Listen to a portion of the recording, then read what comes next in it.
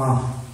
कल हम लोग जो है ना को डोमिनेंस और इंटरमीडिएट डोमिनेंस का बात कर रहे थे, उसमें जो है ना, आपका उसी में शुरू किए थे, तब तक जो है ना, खत्म हो गया था। तो को डोमिनेंस का थोड़ा सा बात करो फिर से, क्या है को डोमिनेंस में और इंटरमीडिएट डोमिनेंस में अंतर क्या है?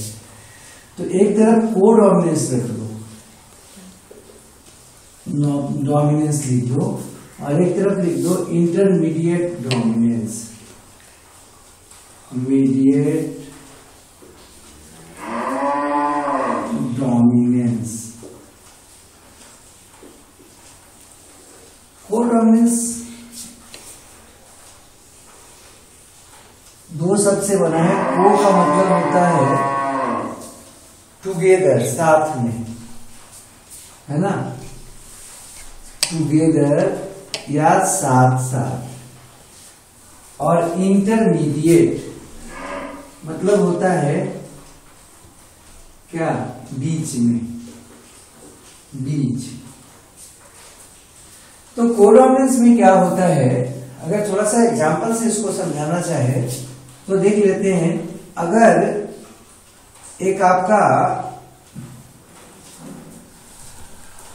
एग्जांपल से देख लो।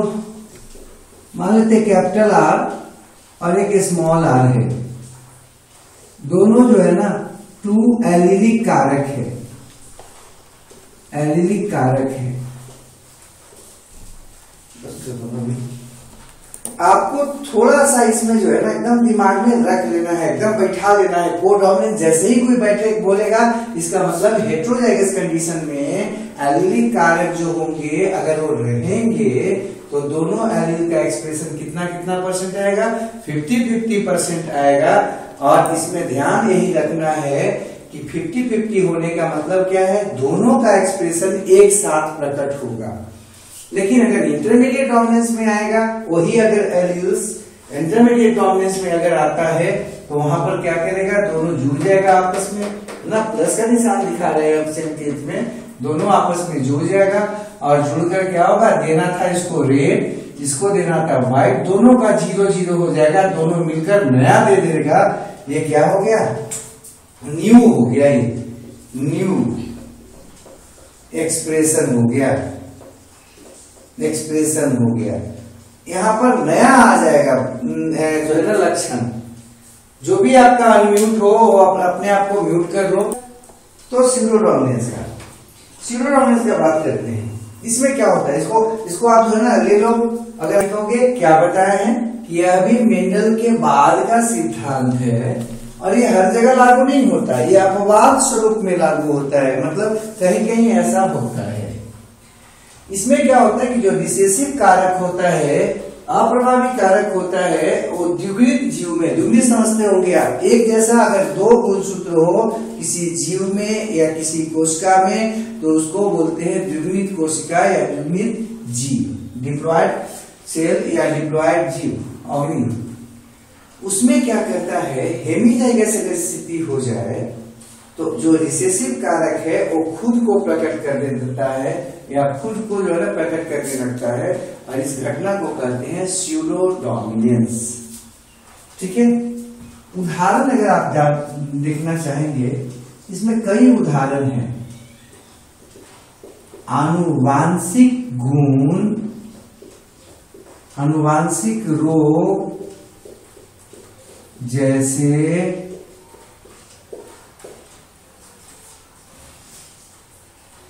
जैसे आपका अल्बुनिज्म है। अल्बुनिज्म है। ठीक है? सिकल सेल एनीमिया में आप देख सकते हो। सिकल सेल एनीमिया में कहना ठीक नहीं है। इत्यादि कर लेते हैं। अनुवांशिक रोग में और भी देखो, हम क्या बोल रहे थे? कहीं पर जो है ना हेट्रोजाइगस कंडीशन था। हाँ दो कारक थे। एक आपका कैसा था? डोमिनेंट था और एक कैसा था? रिसेसिव था। डोमिनेंट का एक्सप्रेशन 100 परसेंट हो रहा था, रिसेसिव का एक्सप्रेशन 0 परसेंट हो रहा था मतलब प्रभाविता का नियम या डोमिनेंस यहाँ पर पूरी तरह से लागू हो रहा था।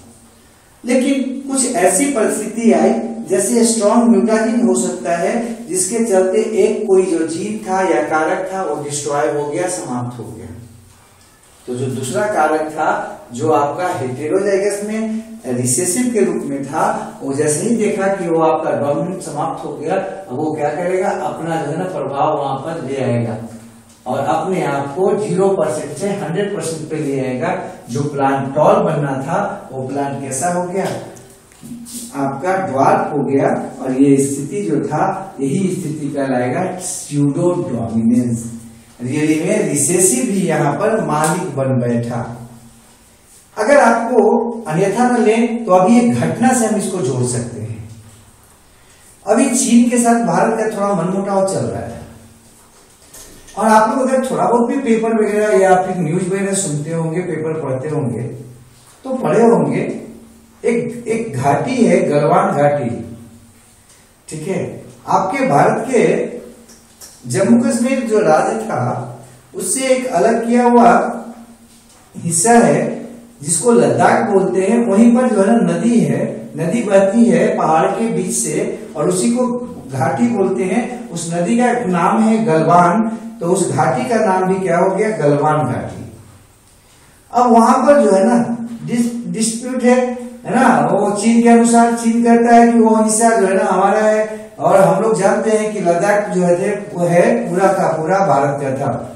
हाँ वो अड़तालीस और बासठ वगैरह में जो है ना, कुछ हुआ इधर उधर। तो जो हमारा कुछ हिस्सा था जम्मू कश्मीर का, लद्दाख वगैरह का, वो आपका, वो जो है ना, चीन को, पाकिस्तान के द्वारा सौंप दिया गया और कुछ जो है ना, चीन अपने भी जो है ना, अपने कब्जा में कर लिया था। लेकिन अभी जो वर्तमान स्थिति है तो वो जो क्षेत्र है ना ना उस क्षेत्र पर हमारा अधिकार है, ना उसका अधिकार है। मतलब कि हम दोनों का अधिकार है। गलवान वैली जो है, वो हमारा अधिकार में है। बाकी जो हिस्सा है, वो आपका अभी जो है ना, हम लोग आपस में सुलह करना चाह रहे हैं। अब हुआ क्या?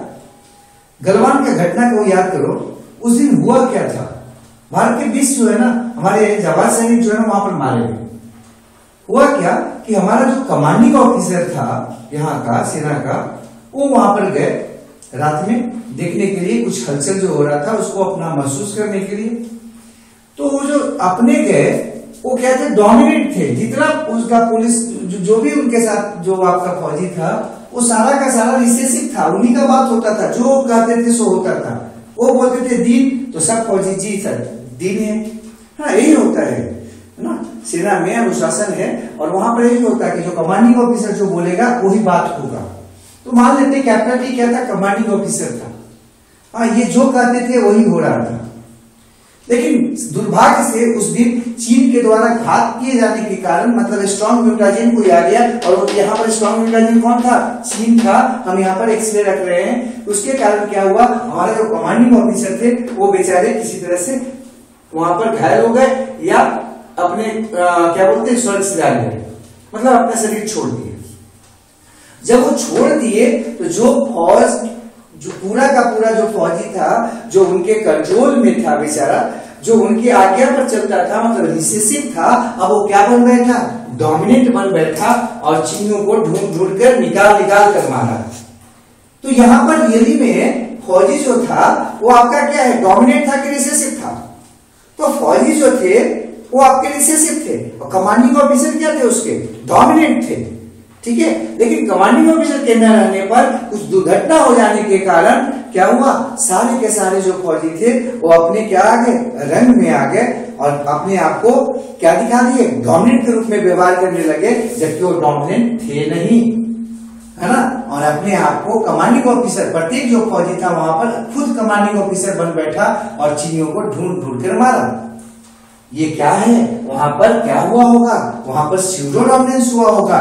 जो बेचारा रिसेसिव था, जो केवल बात मानना होता है जिसको कमांडिंग ऑफिसर का, जब कमांडिंग ऑफिसर ही नहीं रहा मतलब डोमिनेंट ही नहीं रहा तो खुद का क्या बन बैठा? वो खुद डोमिनेंट बन बैठा। तो ये घटना, घटनाओं को आप इसे यहाँ पर इससे कोई संबंध नहीं है, लेकिन घटनाओं को आपके साथ हम रख लें कि ठीक से आप समझ सको। क्योंकि आप देखते होंगे, ढेर सारा फौजी जाता है, जा रहा है साथ में, लेकिन कोई कुछ नहीं करता। जब तक उसका कमांडिंग ऑफिसर ना कुछ बोल दे। तो कमांडिंग ऑफिसर क्या हो गया उनका? डोमिनेंट चीज़ है। लेकिन वहाँ पर आप सुने होंगे कमांडिंग ऑफिसर ही मारा गया। या उनको हो गया दुर्घटनाग्रस्त हो गए हो। तो क्या हुआ? पूरे की पूरी फौज जो है, वो खुद कमांडिंग ऑफिसर बन बैठी और अपने आप को डोमिनेट जैसा बिहेव करने लगी। और ये इसका एग्ज़ाम्पल हो गया वहाँ पर? स्यूडो डोमिनेंस का एग्ज़ाम्पल हो गया। कोई दिक्कत? तो आप इसको जो है ना स्क्रीन शॉट क्या बोल रहे थे? क्या? कि जो भी डिप्लॉयड है पहला चैप्टर दूसरा चैप्टर तीसरा चैप्टर चौथा चैप्टर ये जो चार चैप्टर थे, उनको जो आप लोग पढ़ के आए हो तो हमको पूरा विश्वास है कि उसमें आप लोग ये सब बात पढ़े होंगे। क्या? कि जो द्विगुणित होता है, उसमें एक जैसा कितना क्रोमोसोम होता है? एक जैसा दो क्रोमोसोम होता है, उसको द्विगुणित या डेप्लॉयड कहते हैं। ठीक है? इस हाथ में देखो, एक जैसा कितना है? एक उंगली है। एक जैसा कितना उंगली है? एक। तो इसको क्या बोलेंगे?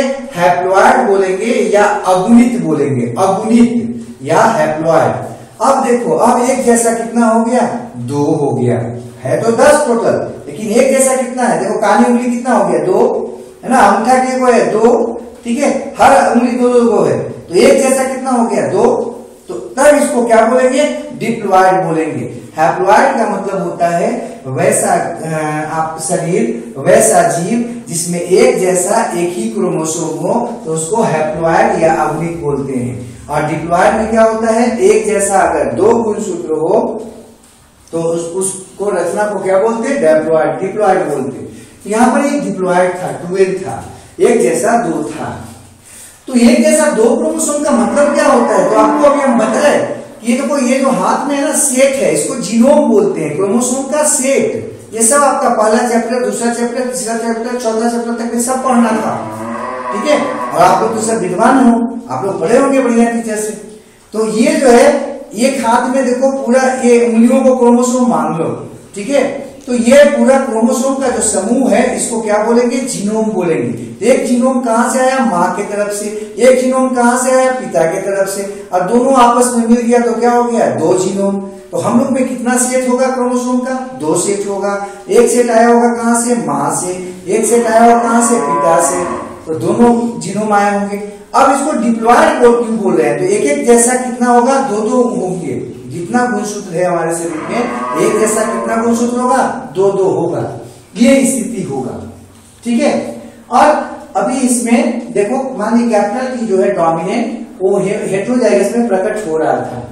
लेकिन हम लोग क्या करते हैं, कई बार हम लोग चले जाते हैं म्यूटाजिन के संपर्क में। जैसे एक्सरे करवाने चले जाते हैं या किसी दूसरे का एक्सरे हो रहा है, देखने के लिए घुस जाते हैं अंदर एक्सरे रूम में। कभी मत घुसिएगा। बहुत खतरनाक होता है एक्सरे। हाँ उसका साइड इफ़ेक्ट है। दवा आपको बार बार मना करते हैं, दवा मत खाया कीजिए दवा का भी साइड इफ़ेक्ट होता है। एक जो अल्बिनिज्म बोल रहे हैं, वो दवा से भी हो सकता है। तो आप जो है ना, कोई चीज़ ले सकते हैं, जिससे आपको ये हो गया। तो माने कोई स्ट्रॉन्ग म्यूटाजेन था, जैसा कि हम एक्सरे को ले सकते हैं, उससे आपको क्या हुआ? वो गया, तोड़ दिया। अब कोई भी क्रोमोसोम को कहीं से भी तोड़ सकता है। हम अभी थोड़ा देर पहले इसको तोड़ा हुआ दिखा रहे थे, मानिए अभी दिखा रहे कि उसको तोड़ दिया। तोड़ के हटा दिया, संजोग था आपका। हटा दिया तो कैपिटल टी गायब हो गया। अब जो टॉल आप थे, अब हो जाएँगे कैसे? नाटा हो जाएँगे जी। हुँ? हम्म? और नाटा क्यों हो गए? क्योंकि जो नाटा का ज़ीरो परसेंट एक्सप्रेशन हो रहा था, अब वो नाटा जो है ना कंडीशन में बदल गया हेट्रोजाइगस से और जिसके चलते इसका हंड्रेड परसेंट एक्सप्रेशन हो गया। तो जो जीव को लंबा होना था डिप्लॉयड स्थिति में, वो डिप्लॉयड स्थिति में ही कैसा हो गया? नाटा हो गया। कोई दिक्कत?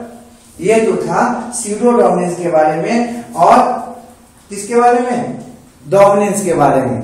हमको लगता है कि आप जो है, एक को समझ में आ गया होगा, नहीं समझ में आया तो फिर से हम बोल रहे हैं, समझ लो एक बार फिर से। नॉर्मल किसको बोल रहे हैं? तो जब किसी जीव समूह में या जनसंख्या में मतलब जीव समूह या जनसंख्या का मतलब क्या एक ही प्रकार के जीवों का समूह। गधा का जीव गधा का जनसंख्या कुत्ता का जनसंख्या आदमी का जनसंख्या ऐसे बोलेंगे, अलग अलग सबका। यानी गधा, कुत्ता आदमी सबको एक साथ बोलेंगे, एक जनसंख्या होगी। नहीं। तो जीवों का जो जनसंख्या है, अगर उसमें कोई एक गुण के लिए मतलब एक जीन के लिए केवल दो कारक पाया जाता है उस पूरे जनसंख्या में तो उसको क्या कहते हैं? समान कहते हैं। लेकिन अगर किसी जीव जनसंख्या में एक गुण के लिए, एक जीन के लिए तीन या तीन से अधिक, तीन या अधिक एलिलिक कारक पाया जाता है तो इस स्थिति को कहते हैं मल्टीपल एलिल्स अब आपको लिखने का मन कर रहा होगा तो लिख देते हैं थोड़ा सा क्या है भाई? तो किसी भी जीव जाति में कोई एक गुण या एक जीन के लिए केवल दो ही एलिलिक कारक पाए जाते हैं या जिम्मेवार होते हैं, इस स्थिति को कहते हैं नॉर्मल एलिल्स ठीक है? उदाहरण में हम मेंडल में जो मेंडल जो बटन में सात जोड़ा गुण लिए थे, उन सब का यही स्थिति था। जिसमें एक हम लिए हैं पौधा का हाइट पौधा का हाइट के लिए क्या था? कैपिटल टी और स्मॉल टी था, दो कारक था। तो कैपिटल टी स्मॉल टी के अलावे और कोई कारक नहीं जिम्मेवार था। किसके लिए? पौधा के हाइट के लिए। तो ये क्या हो जाएगा? नॉर्मल एलिन का उदाहरण हो जाएगा। और इसका निर्माण कैसे होता है? तो होता क्या है? नॉर्मल एलिन में कि जब किसी जीव जाति में एक म्यूटेशन हो और संजोग से वो म्यूटेशन जो है ना, उस जीन के लिए बोल रहे हैं। बाकी और ढेर सारे म्यूटेशन हुआ होगा। लेकिन उस जीन में केवल एक ही म्यूटेशन हुआ होगा अगर तो जीन जो है ना, केवल दो ही रूप में पाया जाएगा। अगर एक से ज़्यादा म्यूटेशन होगा तो एक से ज़्यादा रूप में पाया जाएगा, दो से ज़्यादा रूप में पाया जाएगा। अब आपके मन में आ रहा होगा, सर तो ये जो सब म्यूटेशन ये जो कैपिटल टी वाला था, वो तो सब बदल गया किसमें? स्मॉल टी में। तो कैपिटल टी तो गायब हो गया। नहीं भैया, अभी हम सब बच्चों को पढ़ा रहे इतने बच्चों को पढ़ा रहे यहाँ भी बच्चे हैं, वहाँ भी बच्चे हैं, कुछ बच्चे जो है यूट्यूब से भी पढ़े होंगे तो क्या ये संभव है कि सभी बच्चों को बराबर परिवर्तन हो जाए? जो हम पढ़ा रहे हैं, क्या सारे के सारे बच्चे एक समान हो जाएँगे? नहीं संभव है। कुछ बच्चे जो है, वो उसमें परिवर्तन कम होगा और कुछ बच्चों में परिवर्तन हो जाएगा। ठीक है? तो जो आपका है, म्यूटेशन हो गया परिवर्तन। तो कुछ जो है ना, जो आपका परिवर्तित नहीं हुए, वो उसी रूप में रह गए और कुछ जो बदल गए, जिनमें हुआ, वो हो गया किसमें? स्मॉल टी के रूप में तो दोनों रूप में पाए जाने लगे। ठीक है? कोई दिक्कत है? तो ये हो गया समान समान एलील या नॉर्मल एलील उसके बाद जो है ना, ये आपका, ये जो आपका एवियोरेट समूह वाला है, वो भी यहाँ समझना होगा। मल्टीपल एलील में क्या बोले कि जब किसी जीव जाति में एक गुण या एक जीन जो है, वो तीन या तीन से अधिक एलिलिक कारक के द्वारा क्या किया जाता है? उसको नियंत्रित किया जाता है तो इसे कहते हैं मल्टीपल एलील ठीक है? अब मल्टीपल एलील का निर्माण क्यों होता है? जब कोई जीन में एक से अधिक म्यूटेशन हो जाए, एक से अधिक बार म्यूटेशन हो जाए तो जो बनता है, उसको क्या बोलते हैं? मल्टीपल एलील बोलते हैं। सामान्य रूप से इस संसार में जो मनुष्य है या और कोई जीव है, उसमें तीन एलिलिक कारक वाले मल्टीपल एलिल ज़्यादा पाया जाता है। अब कोई जीव है, अगर मान लेते हैं मनुष्य है, मनुष्य में आपको क्या बोले? एवियो रक्त समूह है। तो इसमें आपका तीन एलील होता है। लेकिन हम में, हम खड़ा है आपके सामने हमें रक्त समूह के लिए कितना एलील होगा? केवल दो होगा। क्यों भैया? क्योंकि सामान्य जो जीव होता है, डिप्लॉयड होता है, उसमें एक जैसा दो ही क्रोमोसोम होता है। ठीक है? तो एलील की संख्या ढेर सारी होगी। लेकिन कोई एक जीव का बात अगर करोगे तो उसमें सिर्फ़ कितना एलील होगा? दो ही एलील होगा। लेकिन सब मनुष्य को मिला लो तो टोटल मनुष्य को ले लोगे और उसमें ब्लड समूह का बात करोगे तो उसमें ब्लड समूह में कितना एलील है? तीन एलील है। मल्टीपल एलील का स्थिति है। अब दिखाते हैं कैसे होता है। तो मनुष्य का जो जीन होता है, मनुष्य का जो जीन होता है वो आपका कैसा होता है? कैपिटल आई होता है ब्लड ग्रुप के लिए। हुआ क्या कि कैपिटल आई जो था, ये वाइल्ड जीन था। वाइल्ड जीन समझ रहे ना? ये ये सबसे शुरुआती जीन था। ये क्या करता था? वाइल्ड जो था, ये क्या करता था? इसमें आपका ए के रूप में ये पाया जाता है। ठीक है? तो ये क्या करता था? ब्लड ग्रुप ए देता था। ठीक है? लेकिन इसमें म्यूटेशन हो गया। तो ये क्या करने लगा? ब्लड ग्रुप दो दो देने लगा। ठीक है? ये आपका ए था, और ये क्या करता था? एंटीजेन ए देता था। देता है। और ये जब देता है तो इससे रक्त समूह क्या हो जाता है? रक्त समूह ए हो जाता है। ए हो जाता है। इसमें एक बार म्यूटेशन हो गया आई ए में। जब म्यूटेशन हुआ, पहला म्यूटेशन जब इसमें हुआ, जैसा कि प्रमाण मिला है तो पहला म्यूटेशन जो हुआ तो ये बदल गया आईबी में। अब ये क्या हो गया? म्यूटेंट जीन है। म्यूटेंट जीन है। इसमें जो है ना, ये क्या देने लगा? एंटीजन अब इसका बदल गया, ये देने लगा एंटीजन बी देता है। अब जब एंटीजन ये बी देने लगा, तब जो है ना, अब रक्त समूह भी बदल गया। जो रक्त समूह क्या था? ए था। अब रक्त समूह हो गया बी लेकिन इसमें म्यूटेशन इतना पर ही नहीं रुका। आईबी जो था, उसमें एक और म्यूटेशन हो गया सेकंड म्यूटेशन। म्यूटेशन हो गया। और कुछ जो आईबी थे, वाला जो म्यूटेंट जीन था, वो बदल गया और वो बदल गया कुछ में? आईओ में। और ये जो है ना, कोई एंटीजन नहीं देता। एंटीजन नहीं देने लगा। देता। अब जब ये कोई नहीं देता है, तब ये जो रक्त समूह हो गया वो रक्त समूह जो है वो बदल के हो गया ओ। ओ। ठीक है? तो यहाँ पर तीन ब्लड समूह आपका जो मिला था, वो आपका दो म्यूटेशन से मिला है। इसी को बोल रहे हैं एबियो रक्त समूह। तो हम लोग में एबियो रक्त समूह में तीन एलिलिक फॉर्म में पाया जाता है। ये ये आपका क्या हो गया? म्यूटेंट जीन है। अब यहाँ पर देखिए कितना एलिल्स हो गया। तीन एलिल्स जीन कितना हो गया? एक। तो तीन है आपका एलील, और जीन कितना? एक। तो ये कैसा कंडीशन कहलाएगा? Multiple allele. मल्टीपल एलील कहलाएगा।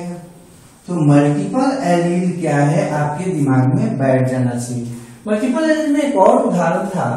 यहाँ पर आ, हम लिखे नहीं। इनकम्पेटिबिलिटी आपको पढ़ना था पौधे में। सेक्सुअल इनकम्पेटिबिलिटी ठीक है? स्वयं बांध्यपन स्वयं स्वयं या स्वयं बंध्यता। स्वयं बंध्यता। स्वयं बंध्यता। ध्यता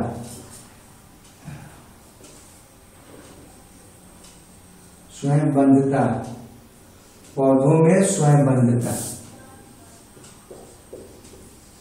पौधों में स्वयं बंधता या सेल्फ इनकम्पेटिबिलिटी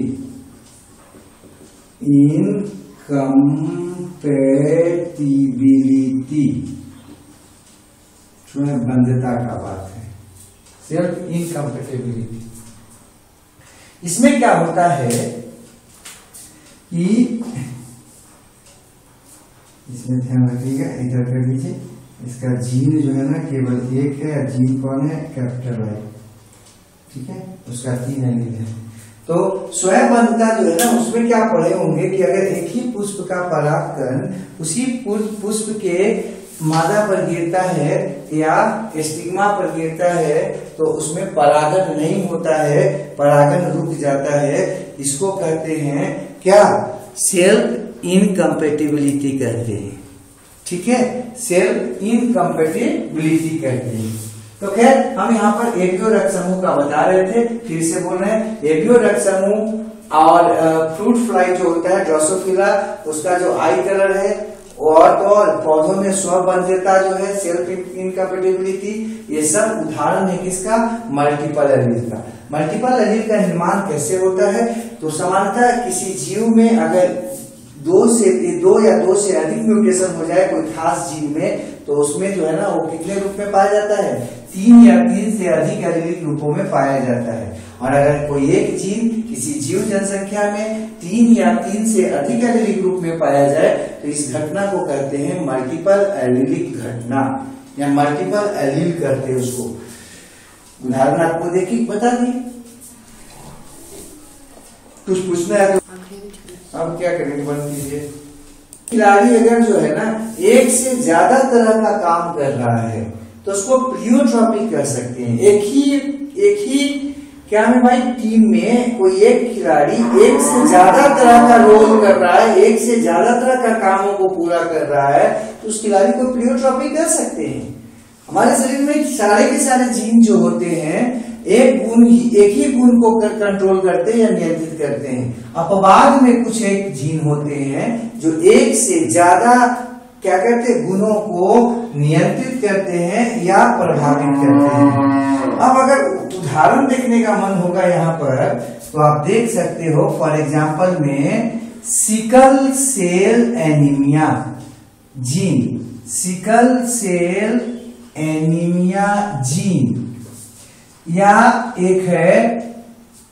आप और रख सकते हो। कौन? मिथाइल किटनोरिया जो है ना वो भी एक फिनाइल किटनोरिया जो है एक रोग है, उसको भी आपका होता है। Phenyl keto, ketonuria. कीटोन्यूरिया। ये सब जो है ना रोग, और भी एसिस्टिक फाइब्रोसिस है, वो सब भी जो है ना इससे होता है। एक ही जीन जो सकता है, वो कई रोग को करता है। जैसे सिकल सेल एनीमिया का है। सिकल सेल एनीमिया जो होता है, उसका आपका जो जीन होता है, उसको हम डिनोट करते हैं कोची से भाई। सिकल सेल एनीमिया को किससे डिनोट करते हैं? आप लोग तो पढ़े ही नहीं होंगे कुछ।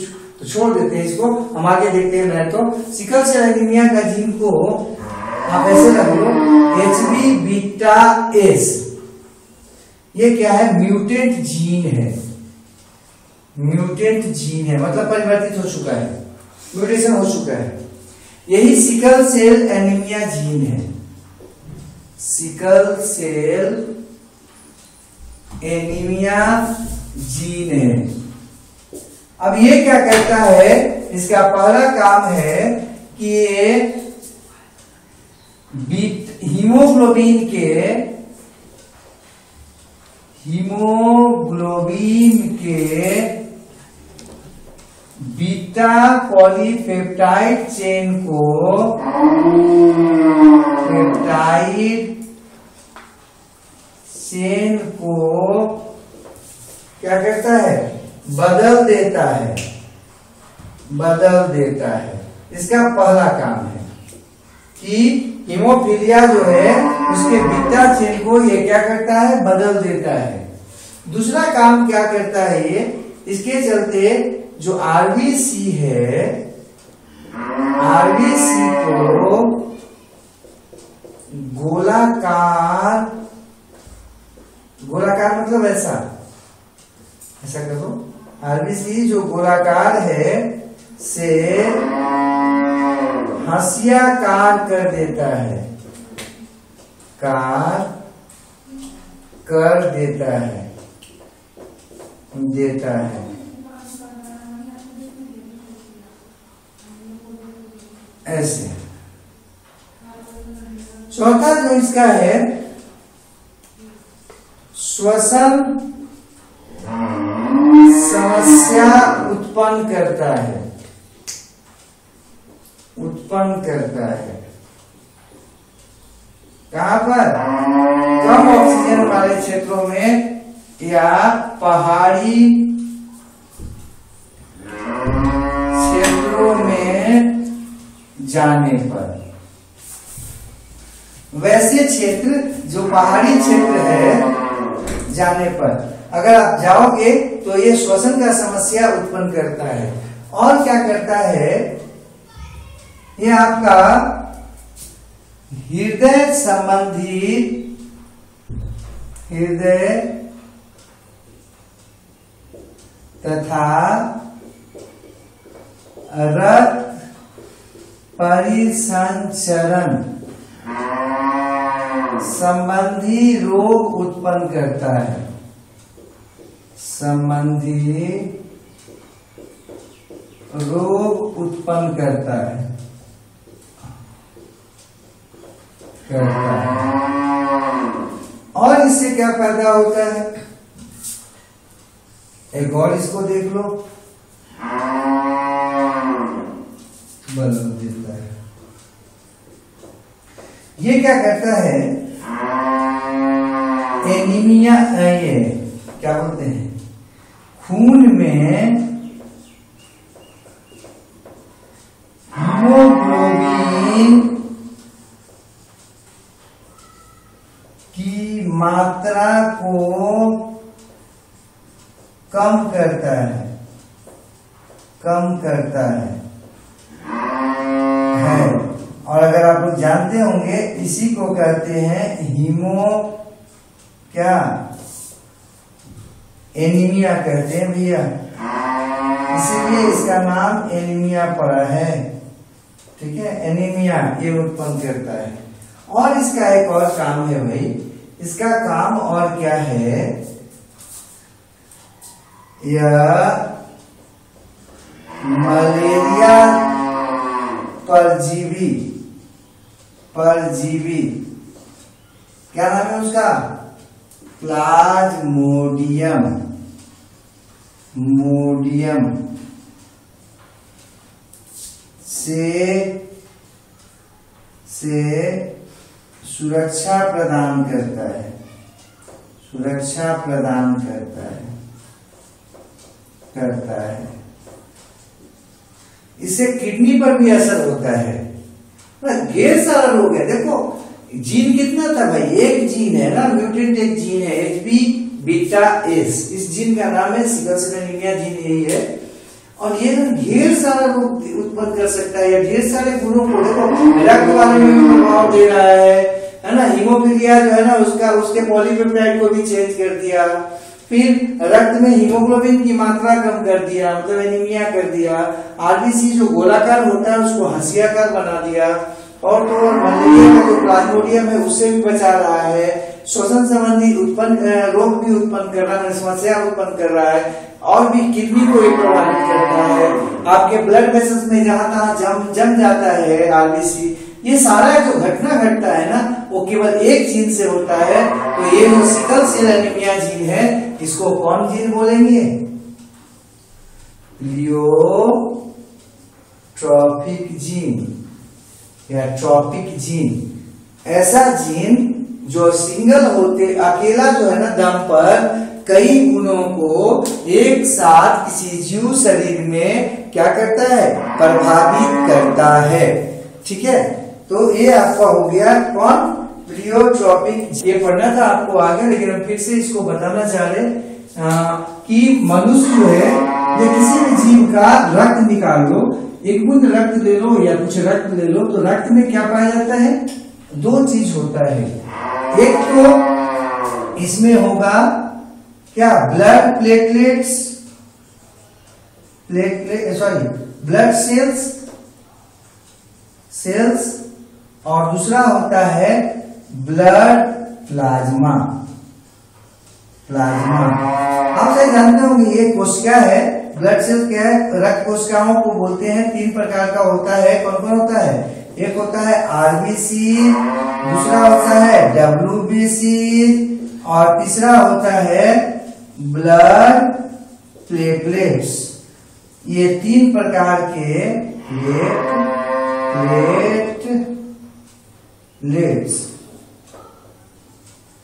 लेट्स ठीक है? अब ये जो ब्लड प्लाज्मा होता है, वो क्या होता है? रक्त का द्रव्य हिस्सा होता है। हिस्सा होता है। रक्त जो होता है, उसमें जो द्रव होता है, उसी हिस्सा को क्या बोलते हैं? ब्लड प्लाज्मा बोलते हैं। शायद आप लोग जानते ही होंगे, ये इस, ये आपका पचपन परसेंट से ज़्यादा होता है, ये कहीं पैंतालीस परसेंट होता है। तो खैर, हम यहाँ पर आ रहे थे। आरबीसी के सतह पर, ठीक है, कुछ प्रोटीनस रचना पाया जाता है। कुछ ग्लाइकोप्रोटीन का रचना पाया जाता है। ग्लाइकोप्रोटीन रचना पाया जाता है। कब से? जन्म से। जन्म से ही पाया जाता है ग्लाइकोप्रोटीन रचना। इसी को कहते हैं नेचुरल एंटीजन नेचुरल एंटीजन क्यों बोले नेचुरल एंटीजन भैया? तो चूँकि जन्म से है तो जन्म से पाए जाने के कारण इसको बोलते हैं नेचुरल और एंटीजन इसलिए बोलते हैं क्योंकि ये क्या करता है?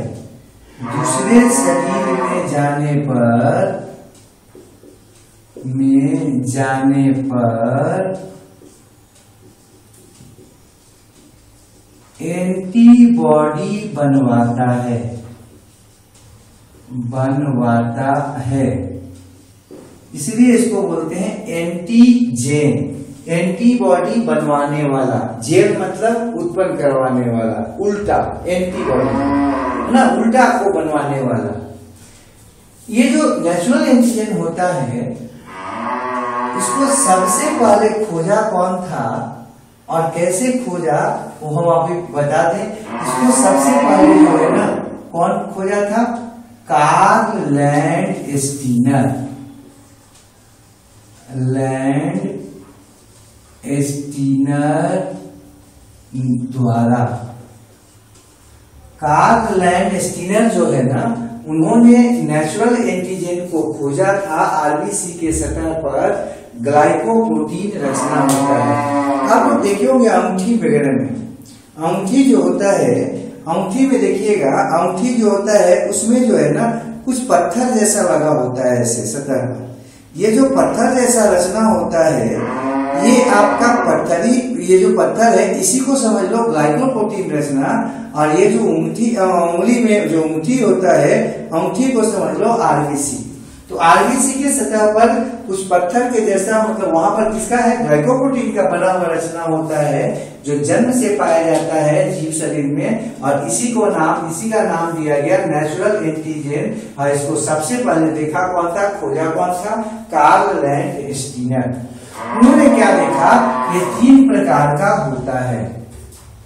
एक होता है ए प्रकार का, एक होता है बी प्रकार का, और एक में देखा नहीं है। नहीं है। तीन स्थिति उनको नज़र आया। एक में था ए, एक में बी, और एक में नहीं था। जिसमें ए था उसका नाम दिया गया उनके द्वारा blood group A. A antigen तो ग्रुप, ब्लड ग्रुप कौन हो गया? ए, बी जिसमें था, उसको कहा गया उनके द्वारा ब्लड ग्रुप बी। जिसमें बी एंटीजन, उसको बी ब्लड ग्रुप, और जिसमें नहीं है तो उसको कहा गया ब्लड ओ, ज़ीरो, नहीं है कुछ। ये कुछ आपका बात था यहाँ पर। अब क्या देखा गया? इसमें डब्ल्यूबीसी भी था, इसमें ब्लड प्लेटलेट्स भी था, ये डब्ल्यूबीसी है, ये ब्लड प्लेटलेट्स है प्लेटलेट्स है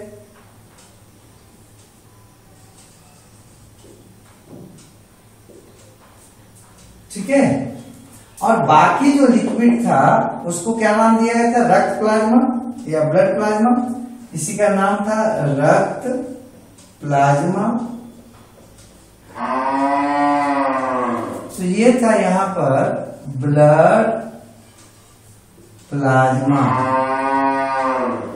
इसमें उनको कुछ प्रोटीन का रचना ऐसे नज़र आया।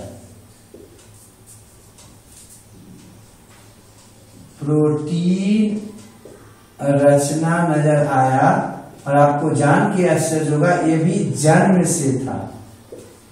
वो ग्लाइकोप्रोटीन रचना था तो उस पर जमा हुआ था, किस पर? आरबीसी पर। और ब्लड प्लाज्मा में इनको कुछ प्रोटीन रचना नज़र आया, जो जन्म से था। इसका नाम उन्होंने दिया, क्या दिया?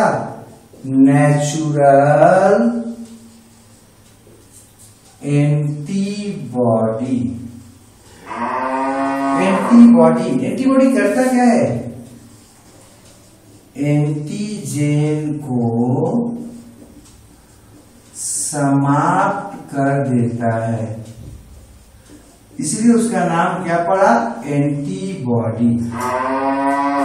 क्या देखा इन्होंने कि जो ब्लड ग्रुप ए था, उसमें जो नेचुरल एंटी एंटीबॉडी था नेचुरल मतलब जन्म से जन्म से जो एंटीबॉडी था, वो कौन था? एंटी बी था। या स्मॉल बी कर सकते हो। ठीक है? एंटी बी लिखना पड़ेगा। या फिर स्मॉल बी केवल लिख दोगे तभी एंटीबॉडी क्या हो जाता है? बी हो जाता है।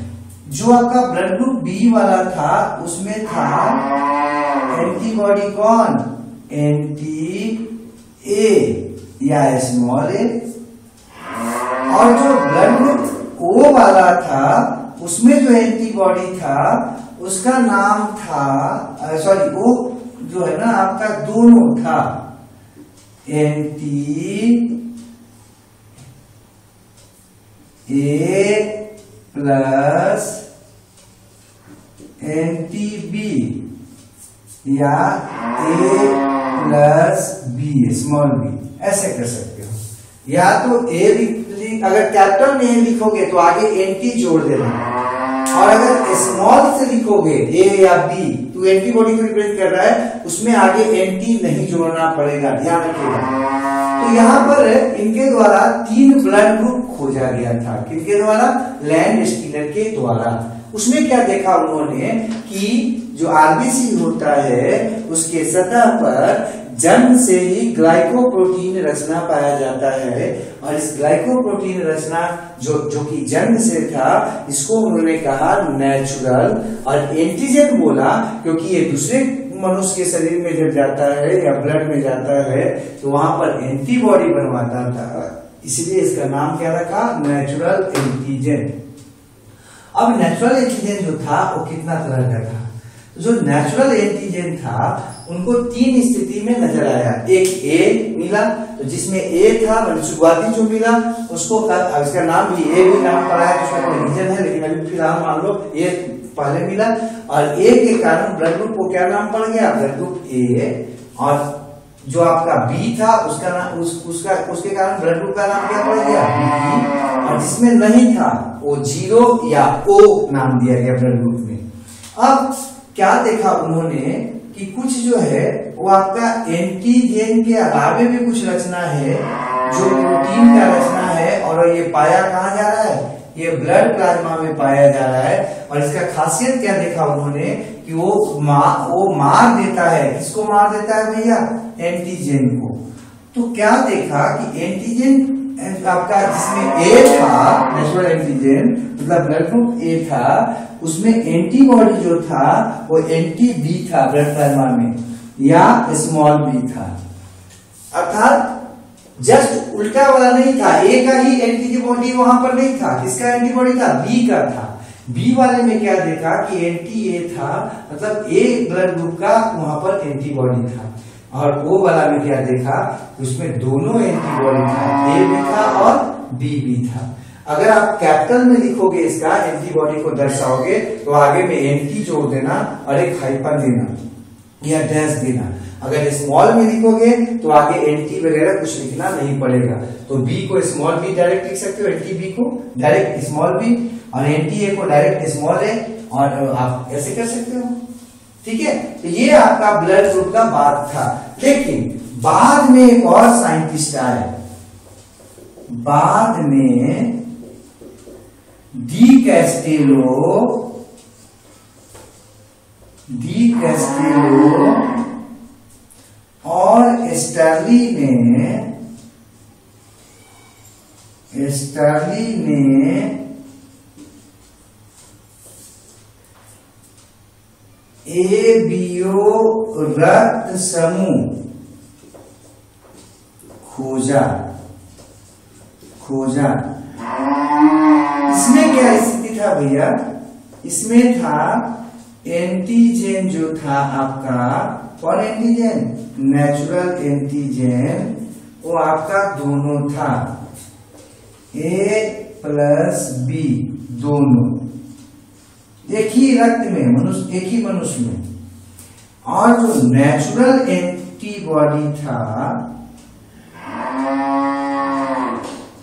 एंटीबॉडी था, वो क्या देखा?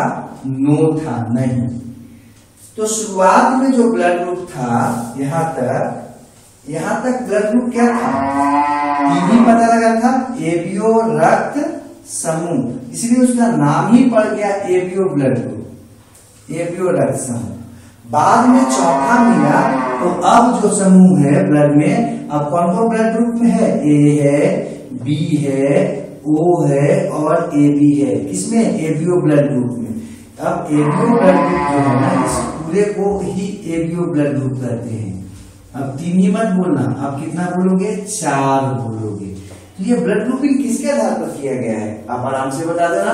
नेचुरल एंटीजन के आधार पर किया गया है और ये नेचुरल एंटीजन कहाँ पाया जाता है? आरबीसी के सतह पर पाया जाता है जन्म से। अगर ए रहेगा तो blood group A natural antigen अगर बी रहेगा तो ब्लड ग्रुप बी अगर दोनों रहेगा तो ब्लड ग्रुप ए और बी और अगर कोई नहीं रहेगा तो ब्लड ग्रुप ज़ीरो या ओ ज़्यादा रहेगा ब्लड ग्रुप ओ अब बताया कि एंटीबॉडी जो है, वो पाया जाता है ब्लड प्लाज्मा में। ये भी जन्म से पाया जाता है। एंटीबॉडी नाम इसलिए इसका पड़ा कि एंटीजन को समाप्त कर देता है। देखा क्या गया कि जिसमें ब्लड ग्रुप ए था मतलब जिसमें एंटीजन ए था, उसमें एंटी बी एंटीबॉडी पाया गया। जिसमें आपका ब्लड ग्रुप बी था, उसमें आपका जो एंटीजन पाया गया सॉरी एंटीबॉडी पाया गया और एंटी ए पाया गया। इस तरह से जिसमें ब्लड ग्रुप आपका ओ था मतलब कोई एंटीजन नहीं था, उसमें दोनों एंटीबॉडी पाया गया एंटी ए भी और एंटी बी भी। और बाद में डिकेस्टेरो और स्टर्ली साहब ने एक और रक्त समूह को ढूंढा और उस रक्त समूह का नाम दिया एबियो रक्त समूह। जिसमें A blood A blood group का भी एंटीजन था और बी ब्लड ग्रुप का भी एंटीजन था। मतलब एक ही शरीर में एक ही आरबीसी पर ए ब्लड ग्रुप का भी एंटीजन है और बी ब्लड ग्रुप का भी एंटीजन है। इसलिए इसका नाम क्या पड़ा? ए बी ब्लड ग्रुप और वर्तमान में एबीओ रक्त समूह में कितना समूह, कितना तरह का ब्लड है? चार तरह का। ए बी ओ और ए बी ये पढ़ना था आपको इलेवेंथ में। या जानना था पहले आपको प्रीवियस में, क्लासेस में। तो इसको इतना जानने के बाद अगला